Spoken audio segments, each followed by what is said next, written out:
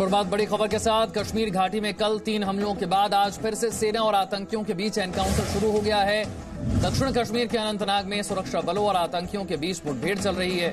सुरक्षा बलों ने यहाँ पर दो से तीन आतंकियों को घेर रखा है। सुरक्षा बलों और आतंकियों के बीच फायरिंग में एक जवान अब तक घायल हुआ है। आतंकियों की तलाश में सेना का सर्च ऑपरेशन जारी है। सेना ने पूरे इलाके की घेराबंदी कर रखी खालिद, ज़्यादा जानकारी के साथ हमारे संवाददाता हमारे साथ जुड़ रहे हैं। खालिद इस वक्त क्या स्थिति? देखिए इस वक्त भी ऑपरेशन जारी है इंटरमीडिएट फायर भी आ, हुआ है। फिर से वहाँ पर दरअसल मध्य रात्रि में सूचना के आधार पर दक्षिणी कश्मीर के अनंतनाग ज़िले के बिजवाड़ा में जो मरहमा गाँव है वहाँ पर एक कोऑर्डिनेट सर्च ऑपरेशन लॉन्च किया। करीबन डेढ़ बजे ये ऑपरेशन शुरू हुआ।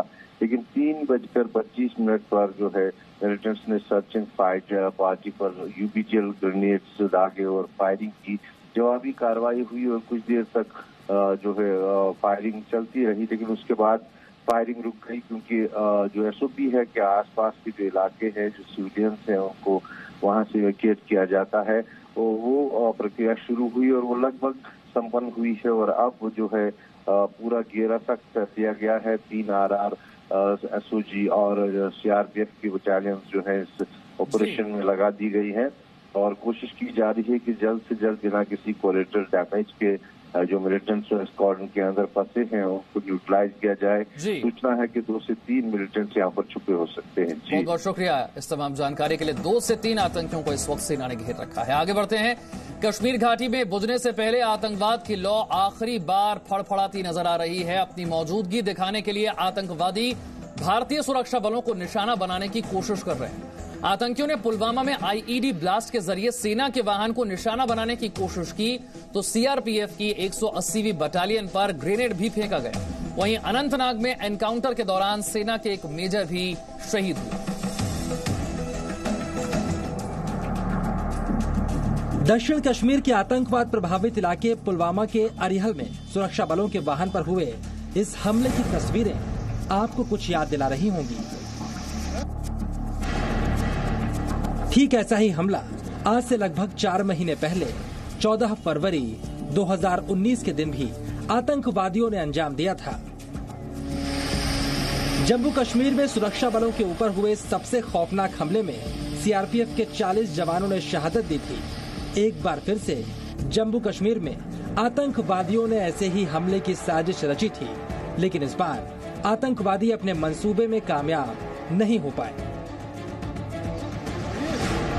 ऑपरेशन ऑल आउट में तेज़ी के बाद छटपटाते आतंकवादियों ने अपनी मौजूदगी दिखाने के लिए बड़ी आतंकी वारदातों में तेज़ी लाने की कोशिश शुरू कर दी है। और इसी कोशिश के तहत पुलवामा के अरिहल गाँव में सेना की राष्ट्रीय राइफल्स के इस वाहन को आतंकवादियों ने आईडी ब्लास्ट के ज़रिए निशाना बनाने की कोशिश की। इस हमले को लेकर सेना के बयान के मुताबिक एक आईडी से लदे वाहन ने 44 आरआर के गश्ती मोबाइल वाहन पर हमला करने का एक असफल प्रयास किया। ये वाहन पुलवामा ज़िले के अरिहल गाँव इलाके में चल रहा था। सेना के जवानों को कुछ मामूली चोटें लगी हैं, लेकिन सभी सुरक्षित हैं। सेना के काफिले पर हमले की खबरें निराधार हैं।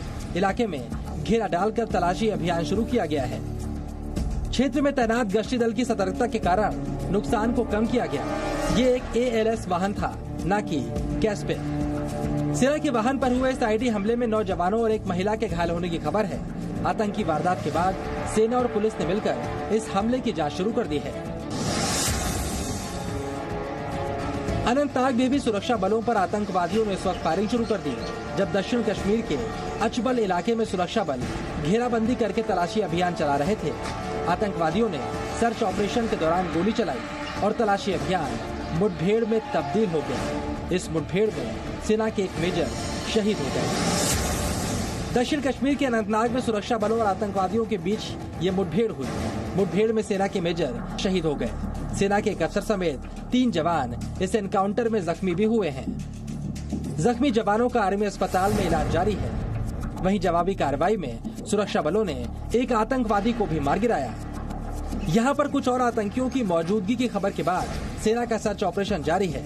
इधर पुलवामा के त्राल में भी आतंकवादियों ने सीआरपीएफ की बटालियन पर ग्रेनेड हमला किया। जम्मू कश्मीर के पुलवामा ज़िले में आतंकवादियों ने पाँच घंटे के भीतर दो आतंकी हमले किए। पुलवामा के अरिहल गाँव में सेना के वाहन पर हमले के बाद त्राल में सीआरपीएफ को भी आतंकवादियों ने निशाना बनाने की कोशिश की। आतंकियों ने त्राल में सीआरपीएफ की 180वीं बटालियन के मुख्यालय पर हमला किया। अज्ञात हमलावरों ने मुख्यालय में मौजूद जवानों को निशाना बनाने की साजिश रची।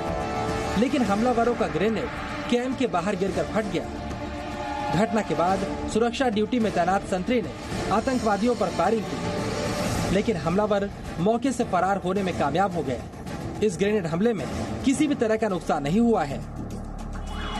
आतंकवादियों के खिलाफ ऑपरेशन ऑल आउट में तेज़ी आई है और पिछले कुछ महीनों में 105 से ज़्यादा आतंकवादियों को सुरक्षा बलों ने ढेर कर दिया है। अमित शाह के गृह मंत्री बनने के बाद सुरक्षा बलों को आतंकवादियों पर और आक्रामक होने के निर्देश दिए गए हैं। ऐसे में एक ही दिन में सुरक्षा बलों पर हो रहे हमलों के पीछे आतंकवादियों की बौखलाहट ही है।